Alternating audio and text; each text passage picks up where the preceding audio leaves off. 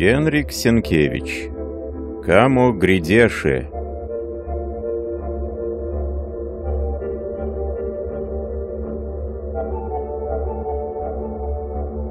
Часть первая, глава первая.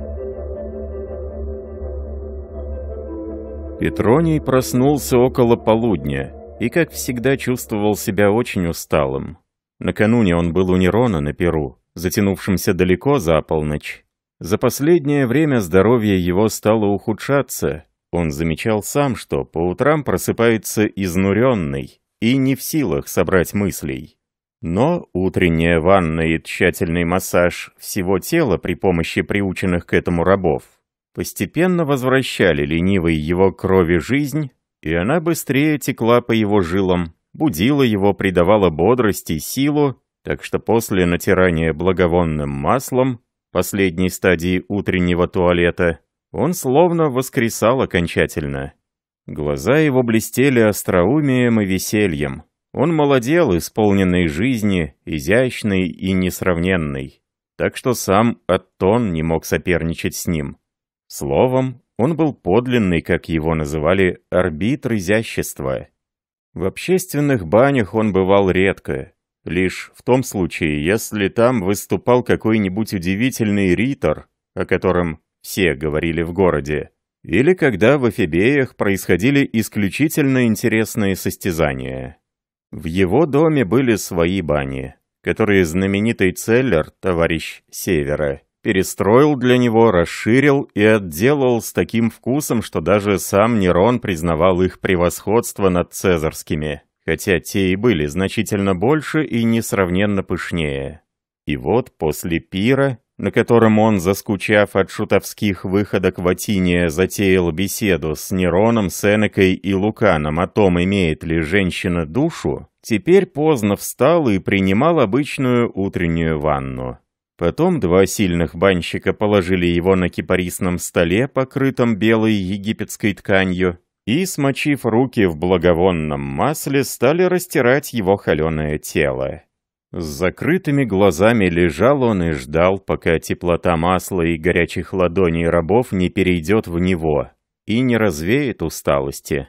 Немного спустя он заговорил, открыв глаза, и стал расспрашивать про погоду, потом о геммах, которые ювелир и обещал прислать сегодня к нему на дом для осмотра.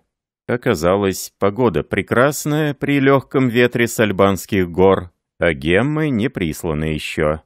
Петроний снова закрыл глаза и велел перенести себя в Типидарий.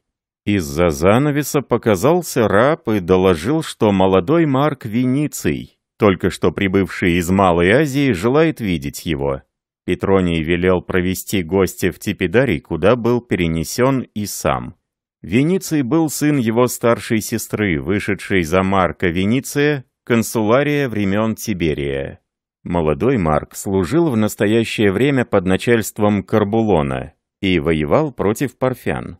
И теперь, после окончания войны, вернулся в Рим. Петроний чувствовал к нему некоторую слабость, похожую на любовь. Марк был красивый, атлетически сложенный юноша, и в то же время он умел сохранять известную эстетическую меру в проявлениях римской испорченности. Это Петроний ценил выше всего. «Привет, Петронию», — сказал молодой человек легкими шагами, входя в Тепидарий. «Пусть все боги будут благосклонны к тебе, а в особенности Асклепий и Киприда. Под их двойной опекой ничто дурное не может тебя встретить. Привет тебе в Риме, «И пусть будет сладок твой отдых после войны», — ответил Петроний, протягивая руку из складок мягкой ткани, в которую был завернут. «Что слышно в Армении? Живя в Азии, не побывал ли ты в Вифинии?» Петроний был когда-то правителем этого города, и, что удивительно, правил умело, энергично и справедливо. Это было в противоречии с характером человека, известного своей изнеженностью и любовью к роскоши, Потому-то он любил вспоминать те времена, что его успешное управление служило показателем, чем он мог бы и сумел бы стать, если бы ему этого захотелось. «Мне случилось побывать в Гераклее», — ответил Вениций. После меня Карбулон собирал там вспомогательные войска. А, Гераклея. Я знал там девушку из Колхиды, за которую отдал бы всех здешних разведенных жен, не исключая Попеи. Но это старые истории. Скажи лучше, что слышно у парфян? Мне надоели сказать правду все эти вологезы, теридаты, тиграны и прочие варвары, которые, по уверению молодого Арулена, ходят у себя дома на четвереньках и лишь в нашем присутствии стараются быть похожими на людей. Теперь о них много говорят в Риме, хотя бы потому, что говорить о чем другом опасно. Война идет без успеха, и если бы не Карбулон, легко могла бы стать нашим поражением. Карбулон. Клянусь Вакхом, он подлинный бог войны. Настоящий Марс — великий полководец. Дикий, вспыльчивый и глупый. Люблю его хотя бы за то, что Нерон боится его. Карбулон — не глупый человек.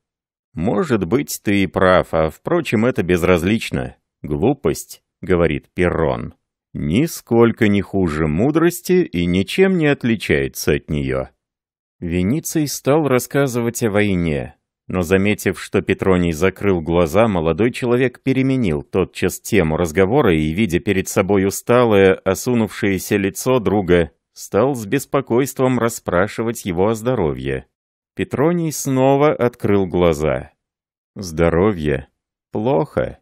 Он не чувствует себя здоровым. Правда, он не дошел до состояния, в каком находится молодой Сиссон который до такой степени перестал ощущать окружающее, что, когда его переносят в баню, он спрашивает «я сижу или лежу?».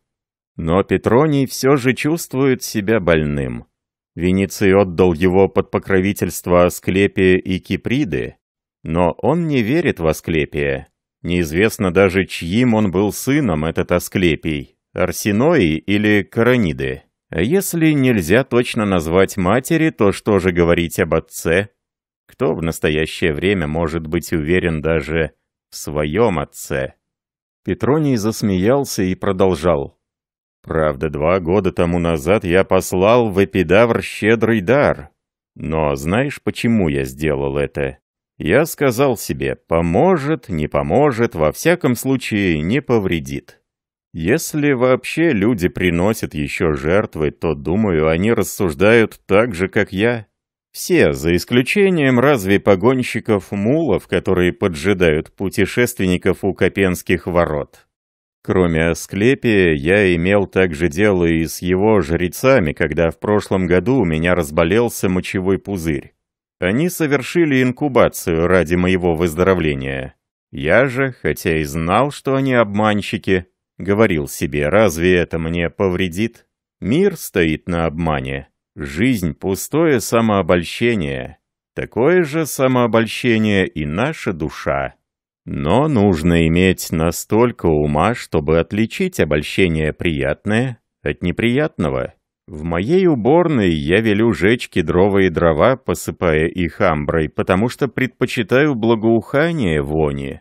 Что касается Киприды, которой ты поручил меня, то я достаточно почувствовал на себе ее покровительство, испытывая стрельбу в правой ноге. Впрочем, эта богиня не злая. Думаю, что и ты рано или поздно отнесешь к ее алтарю белых голубей. «Да», — сказал Вениций, — «меня не достали стрелы парфян, но неожиданно ранил дротик Амура, и это случилось недалеко от ворот Рима. «Клянусь белыми ножками, Харит, что ты расскажешь мне об этом на досуге», — сказал Петроний. «Я пришел, чтобы просить у тебя совета», — ответил Марк. В это время вошли банщики, которые и занялись Петронием. А Марк, следуя приглашению Петрония, сбросил с себя тунику и погрузился в теплую ванну. «Я даже не спрашиваю, пользуешься ли ты взаимностью», — говорил Петроний, разглядывая молодое, словно высеченное из мрамора тело Вениция. «Если бы тебя увидел Лисип, то ты украшал бы теперь ворота Палатина в качестве статуи юного Геркулеса». Молодой человек улыбнулся и, довольный, стал плескаться в ванне, разбрызгивая желтую воду по мозаике, изображавшей Геру в то мгновение, когда она просит Морфея усыпить Зевса. Петроний рассматривал его восхищенным взором художника. Когда Марк кончил купаться и перешел в распоряжение банщиков, вошел чтец с бронзовым ящиком, наполненным свитками. «Хочешь послушать?» — спросил Петроний. «Если это твое произведение, то охотно», — ответил Вениций. «Если же нет, то предпочитаю беседовать. Поэты ловят теперь слушателей на всех перекрестках». «Да-да, нельзя пройти мимо базилики, мимо бань, библиотеки или книжной лавки, чтобы не увидеть жестикулирующего, как обезьяна, поэта. Агриппа, приехавший с Востока, принял их за сумасшедших. Но теперь такое время. Цезарь пишет стихи, поэтому все делают это. Но нельзя писать стихов лучших, чем пишет Цезарь. Поэтому я немного боюсь за Лукана. Но я пишу прозой, которой не угощаю, впрочем, ни себя, ни других. Чтец должен был читать записки бедняги Фабриция Виентона. Почему бедняги? Потому что ему велено сидеть в Одиссе и не возвращаться к домашнему очагу впредь до нового распоряжения. Эта Одиссея будет ему лишь постольку легче, чем настоящему Одиссею, поскольку жена его не похожа на Пенелопу. Не нужно говорить тебе, что все это очень глупо. Но здесь никто не задумывается глубоко. Это довольно посредственная и скучная книга, которую стали жадно читать тогда лишь, когда автор был изгнан. Теперь это всюду слышится. Скандал, скандал. Возможно, что Виентон кое-что приврал, но я хорошо знаю наших отцов и наших женщин и уверяю тебя, что все это бледнее, чем в действительности. Каждый ищет со страхом себя в этих записках и с тайной радостью своих друзей. В книжной лавке Аверуна сто песцов пишут под диктовку. Успех книги обеспечен. На тебя намеки там есть? Да, но автор промахнулся, потому что я в одно и то же время и хуже, и менее пошел, чем он представил меня. Мы здесь давно потеряли сознание того, что хорошо и что дурно. И мне порой, право же, кажется, что между этими понятиями вообще нет разницы. Хотя Сенека, Музоний и Тросей притворяются, что видят ее. Мне это безразлично. Клянусь Геркулесом, я говорю, что думаю. Но я сохранил за собой одно преимущество. Я знаю, что безобразно и что красиво. А этого хотя бы наш меднобородый поэт, наездник, певец, танцор и лицедей не понимает. Мне жаль Фабриция, он был прекрасный товарищ. Его погубило самолюбие. Все его подозревали, но никто не знал, наверное. Он сам не мог удержаться и говорил всем о своем авторстве под величайшим секретом. Ты слышал об истории Руфина? Нет? Перейдем в прохладную комнату, мы там остынем, и я расскажу ее тебе. Посреди фригидариума светло-розовый фонтан разносил запах фиалок. Усевшись в нишах на шелковых простынях, они остывали. Некоторое время молчали. Вениций задумчиво смотрел на бронзового фавна, который, перегнув к себе через плечо нимфу, Жадно искал губами ее губ. Потом он сказал, «Этот фавн прав, вот лучшее в жизни». Приблизительно. Но ведь кроме этого ты любишь еще войну, которую я не люблю, потому что в походных шатрах ногти ломаются и перестают быть розовыми. Впрочем, у каждого свое пристрастие. Меднобородый любит пение, особенно свое собственное, а старый скавр свою коринфскую вазу, которую он целует, если не может заснуть. Края этой вазы уже лоснятся от его поцелуев. Скажи, ты не пишешь стихов? Нет, я не написал ни одного гекзаметра. И не играешь на лютне, не поешь? Нет. На колеснице ездишь? Когда-то состязался в Антиохии, но без особого успеха. Тогда я спокоен за тебя. К какой партии принадлежишь в цирке? К зеленым? В таком случае я могу окончательно успокоиться. Хотя у тебя большое состояние, но все же ты не так богат, как Сенека и Палладий. Потому что у нас теперь хорошо писать стихи, петь под аккомпанемент лютни, декламировать и состязаться в цирке, но еще лучше и, главное, безопаснее. Не писать, не петь, не состязаться. Лучше всего удивляться, как искусно все это делает Меднобородый. Ты красив, и тебе может быть опасной Попея, если влюбится в тебя. Но она слишком опытна в этом. Достаточно узнала любовь, будучи два раза замужем. Третьем браке ее интересует нечто иное. Знаешь, этот глупый Атон безумно влюблен в нее до сих пор. Бродит в Испании по скалам и тяжело вздыхает. Утратил свои старые привычки, и перестал заботиться о своей наружности настолько, что теперь у него на прическу уходит лишь три часа в день. Кто бы мог ожидать этого от Аттона? «Я понимаю его», — ответил Вениций, «но на его месте я сделал бы нечто иное». «Что же именно?» «Собрал бы верные себе легионы из тамошних горцев. Иберийцы — великолепные солдаты». «Вениций, Вениций, мне думается, что ты не был бы способен на это. И знаешь почему? Потому что такие вещи делают, но о них не говорят, даже условно. А я на его месте смеялся бы над Попеей, смеялся бы над Меднобородым и собирал бы легионы не иберийцев, а ибериек. Самое большее писал бы эпиграммы, которых, впрочем, не читал бы никому, как это делал бедный Руфин. Ты хотел мне рассказать о нем? Расскажу. В Унктуарии. Но и там внимание Венеции было отвлечено прекрасными рабынями, которые ожидали их. Две из них, негритянки, похожие на великолепные статуи из черного дерева, стали натирать тела патриции аравийскими благовониями. Другие, искусные фригийки, держали в мягких и гибких, как змеи, руках полированные стальные зеркала и гребни, Две божественно прекрасные гречанки ждали минуты, когда они смогут правильно сложить складки на тогах своих господ. «Клянусь Зевсом-громовержцем!» — воскликнул Марк Вениций. «У тебя великолепный выбор». «Я предпочитаю качество количеству», — ответил Петроний. «Моя фамилия в Риме не превышает четырех сотен голов, и я полагаю, что для личных услуг только выскочки нуждаются в большем числе. Более прекрасных девушек не имеет даже меднобородый, раздувая ноздри, говорил Вениций. На это Петроний добродушно сказал. «Ведь ты мой родственник.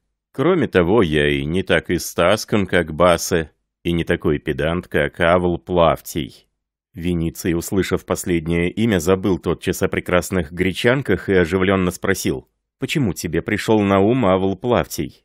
Знаешь, я повредил себе руку недалеко от Рима и принужден был провести несколько дней в его доме.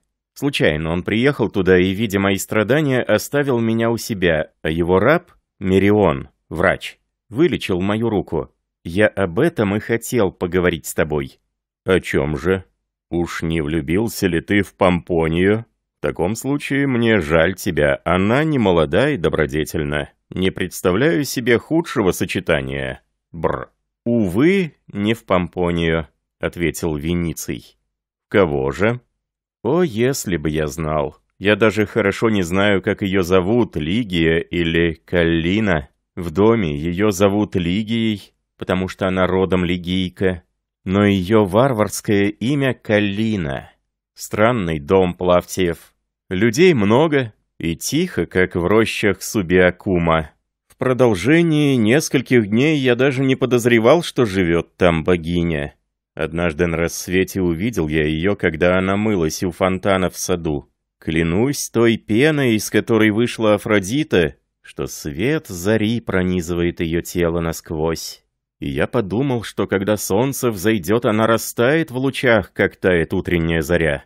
Потом я видел ее два раза и с тех пор не знаю покоя. Нет у меня другого желания. Не хочу смотреть на Рим, не хочу женщин, золота, коринфской бронзы, янтаря, жемчугов, вина, перов. Ничего. Хочу лишь ее одну. Лигию. Я говорю тебе искренне, Петроний, что тоскую по ней, как тосковал изображенный на мозаике в твоей бане Морфей по Пасифее.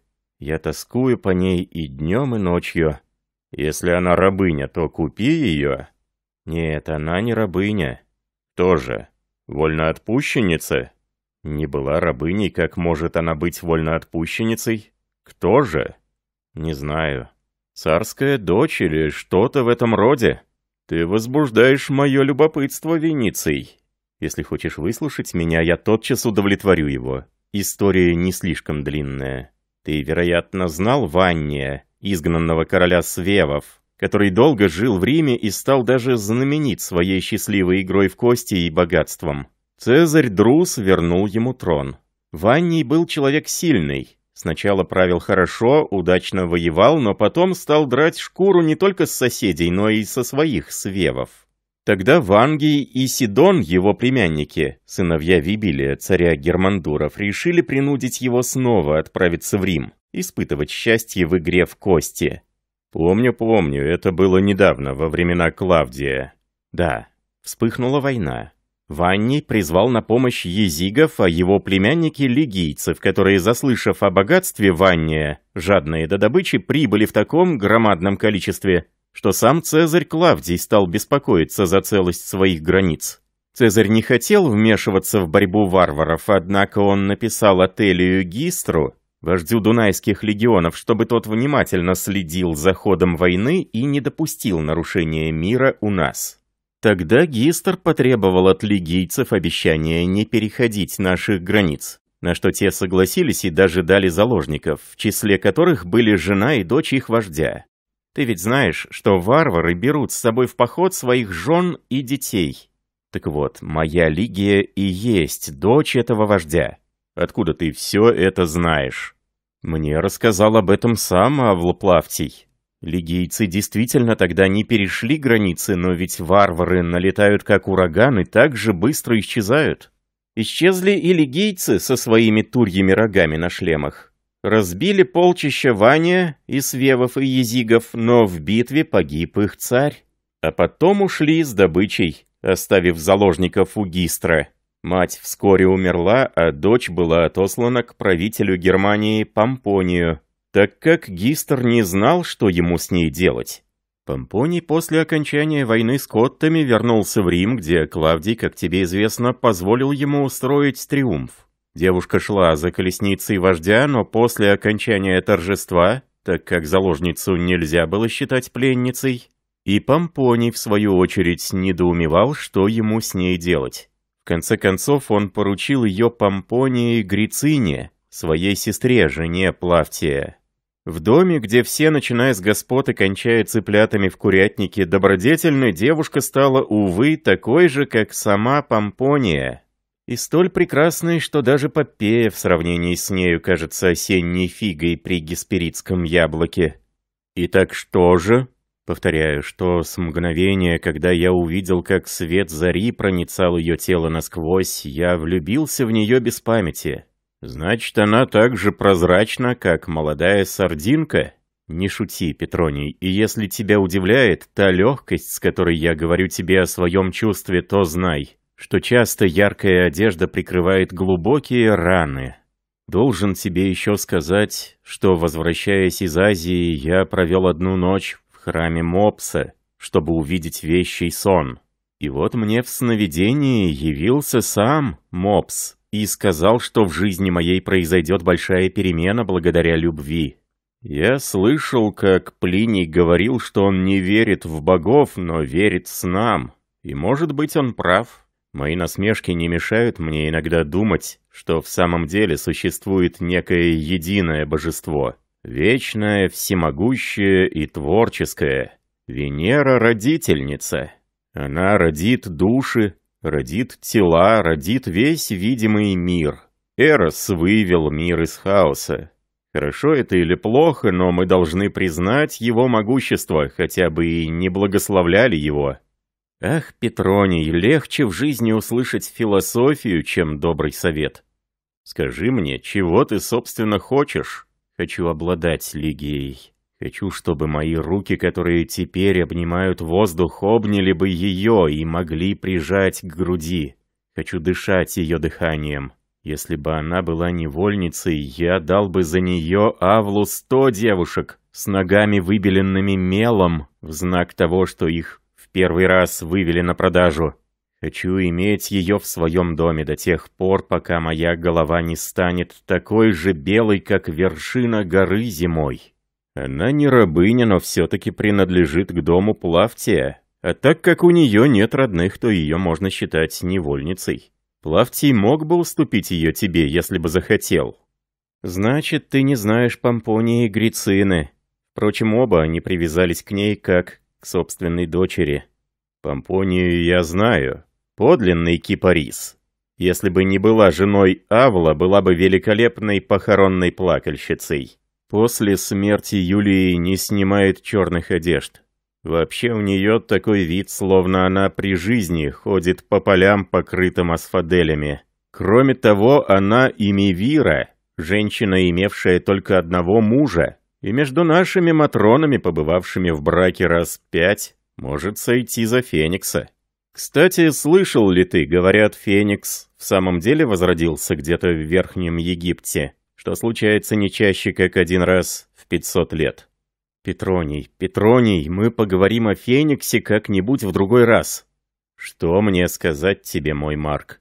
Я знаю Авла Плавтия, который хотя и бронит мой образ жизни, все же питает ко мне некую слабость.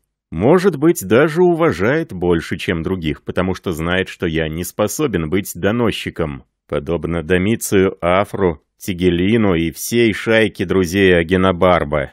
Не выдавая себя за стоика, я, однако, не раз морчился от таких выходок Меднобородова, на которые Сенека и Бур смотрели сквозь пальцы. Если ты думаешь, что я могу быть тебе чем-нибудь полезен, у Авла я весь к твоим услугам. Думаю, что можешь. Ты имеешь влияние на него, твой ум необыкновенно остер. Если бы ты вник в положение, поговорил с Плавтием. У тебя преувеличенное мнение о моем влиянии и уме, но если дело лишь за этим, я охотно поговорю с ним, как только они переедут в город. Они переехали два дня тому назад. В таком случае пойдем в Триклиний, где нас ждет завтрак, а потом велим себя отнести к Плавтию.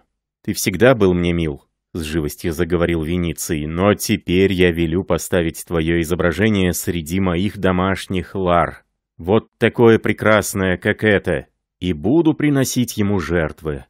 И с этими словами он повернулся к стене, у которой стояли статуи, и показал рукой на изображение Петрония в виде Гермеса с посохом в руке. Потом он прибавил Клянусь светом Гелиоса, что божественный Парис был похож на тебя, поэтому нечего удивляться Елене». И в этом возгласе слышалась неподдельная искренность, потому что Петроний хотя был старше и менее мускулист, но казался красивее Вениция. Женщины в Риме удивлялись не только его гибкому уму и вкусу, что давало Петронию право называться арбитр изящества, но также и телу его. И этот удивленный восторг отразился на лицах гречанок, которые приводили в порядок складки его тоги. Одна из них по имени Евника была тайно влюблена в него и смотрела на него с обожанием и любовью. Но он не обратил на это внимания и с улыбкой стал цитировать в ответ Веницию слова Сенеки о женщинах. «Бесстыдное животное» и так далее. Потом, обняв его, он повел Вениция в триклиний. В бане гречанки, фригийки и негритянки стали убирать сосуды с благовониями. Но в ту же минуту из-за занавеса показались головы банщиков и раздалось тихое «пс». На этот призыв одна из гречанок, фригийки и обе негритянки тотчас исчезли за занавесом. В банях была минута полной свободы и разврата, чему не мешал надсмотрщик, и сам не раз принимавший участие в подобных похождениях. Догадывался об этом и Петроний, но как человек великодушный и не любивший прибегать к наказаниям, смотрел на все сквозь пальцы. В комнате осталась одна Евника. Некоторое время она прислушивалась к удалявшимся голосам и смеху, Потом, подняв инкрустированную янтарем и слоновой костью скамью, на которой только что сидел Петроний, осторожно поставила ее перед его статуей. Комната была залита солнечным светом, переливавшимся на многоцветном мраморе, которым были выложены стены. Евника встала на скамью и вдруг закинула руки вокруг шеи статуи, отбросив назад золотые свои волосы. Прижимаясь розовым телом к белому мрамору, она с волнением прижала свои губы к каменным губам Петрония.